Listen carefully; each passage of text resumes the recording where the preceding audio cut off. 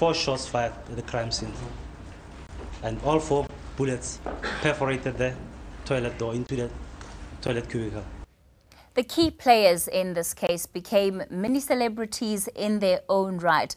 Uh, Chris Mangena is a very good example of that. Pagamile, you had the opportunity of speaking to him uh, about how he felt about his public profile.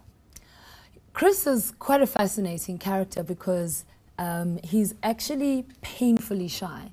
And I, I, misunderstood that. I thought he was a really serious, strict individual. But then I realized he's really, really shy.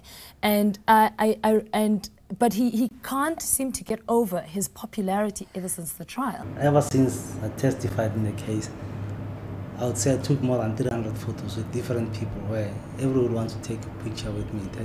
Some of them want me to come and visit them, and I don't want to do that. I just want my privacy. I don't want. I want my life back because looks like now they're taking my life.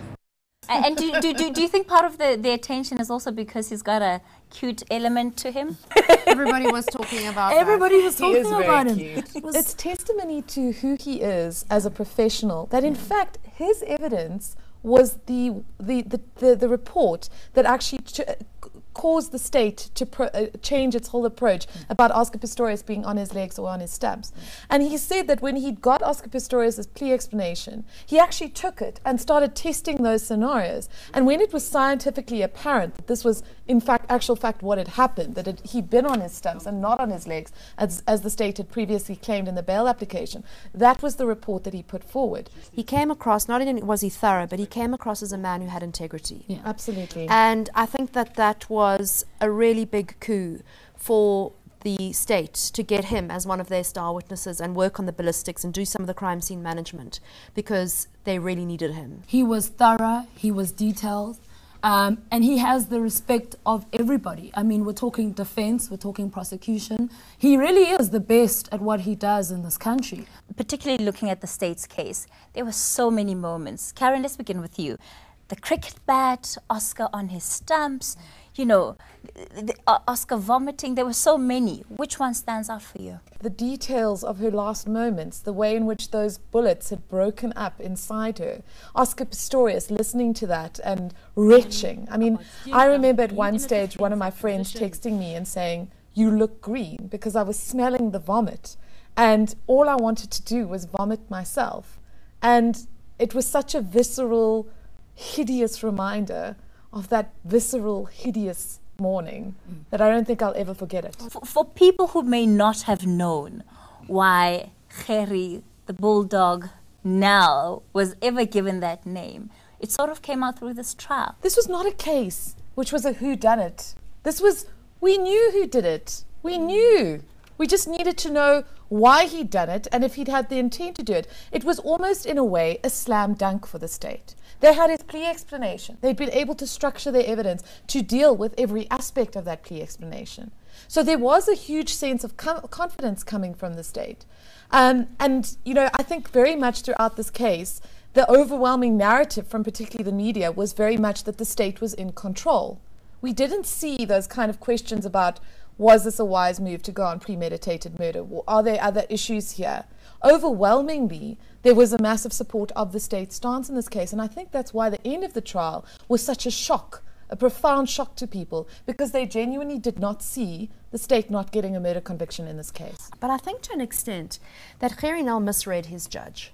I think that she got, with this Guantanamo style at times, and I say that in inverted commas, um, with this Guantanamo style form of cross examination, I think she got quite irritated.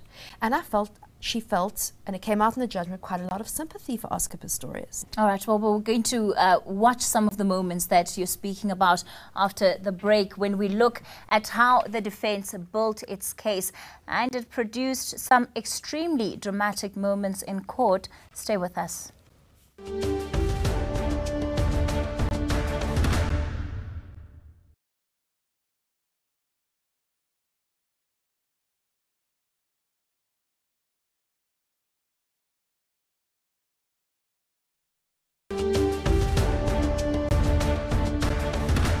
Well, looking back at the Oscar Pistorius murder trial that played out in 2014, the state believed Oscar Pistorius murdered Reeva Steenkamp. The four bullets fired through the toilet door, they argued, was not the work of a man fearing for his life, but a man in rage. The defense ripped into the neighbors and ballistic experts who testified for the state, and then it was the defense's turn. The moment everyone was waiting for was for Pistorius to take the stand in his own defense. I'd like to apologise and say that there's not a moment and there hasn't been a moment um, since since this tragedy happened that I haven't thought about uh, your family Oscar Pistorius also says he's been living on a cocktail of antidepressants and sleeping pills since Steenkamp's death last year.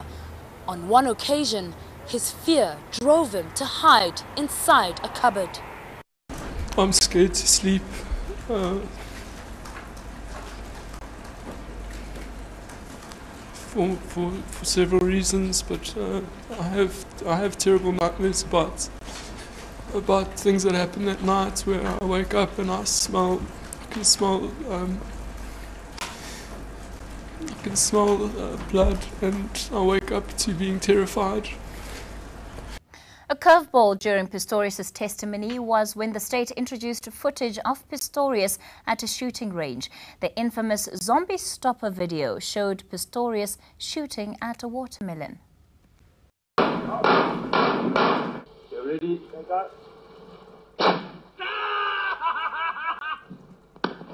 That wasn't me laughing in the background, but that was my voice saying those words.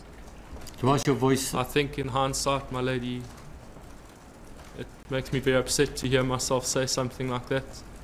But to compare a zombie, which is a fictional animated character, to a human being is the relevance is I, I can I can't put uh, two and two together. And if I was shooting at a watermelon, or at a piece of wood, or at a target,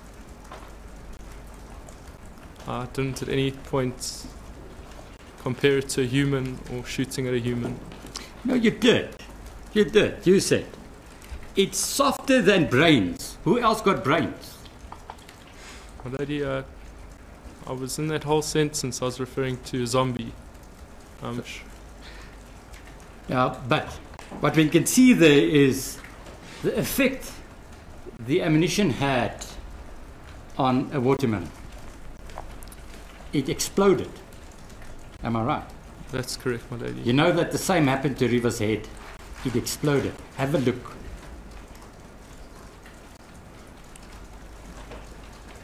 I'm going to show you, Mr. Pistorius. It had the exact same effect, the bullet that went into her head.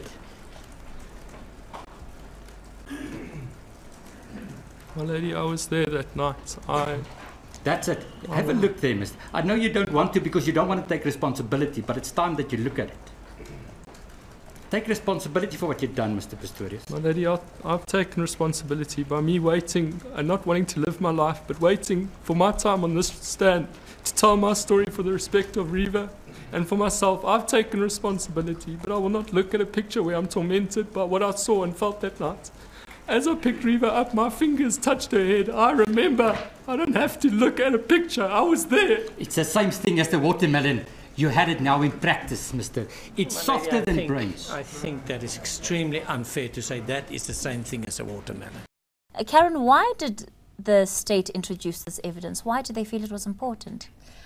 I think the overwhelming feeling was that Gerrie Nel wanted to confront Oscar Pistorius with the lived, or unfortunately in Reeva Steenkamp's, the dead consequences of his actions. And I think there was something so, I don't know, moving, violent, terrible about seeing this, this beautiful woman who'd been on magazine covers. Um, that last picture that was taken of her. It's like out of a horror movie. With really. all this blood in her hair. Yeah. And her face, she was still so exquisite. I mean, she was an absolutely beautiful woman.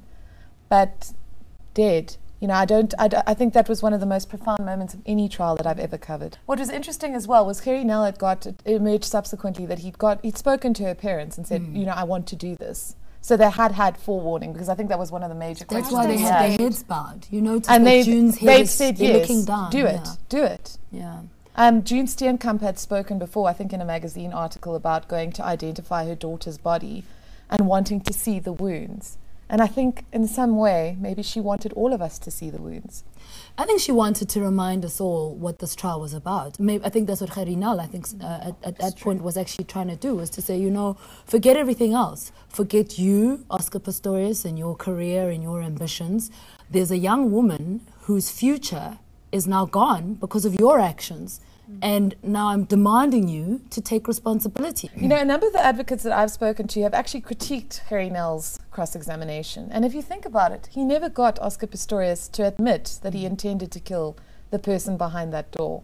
And that's the major aspect of this now this pending appeal on the issue of dolus eventualis. Throughout all that sound and fury, throughout all those visceral, terrible images, throughout the attacks on his character, he never got him to say, I intended to kill that person behind the door. Another defense witness was Roger Dixon, who was called to give testimony on ballistics.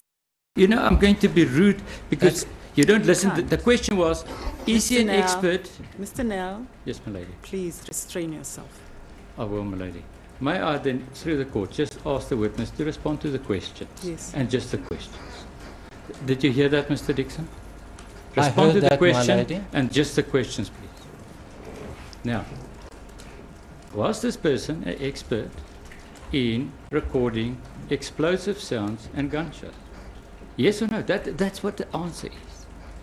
Uh, my lady, that's the first time I've heard that specific question, and it was stated to be the answer. Um, I have no idea on the expertise of the person who recorded the sound as to whether they are an expert in recording explosions and gunshots. No, I don't. Your analysis of visibility in the dark, did that require any expert skill?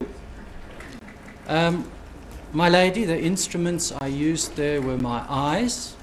The equipment I used, my lady, was my eyes. Not a very high moment for the defense's case. That was honestly, I think, probably some of the most uh, entertaining, if I can put it that way, aspects of the trial.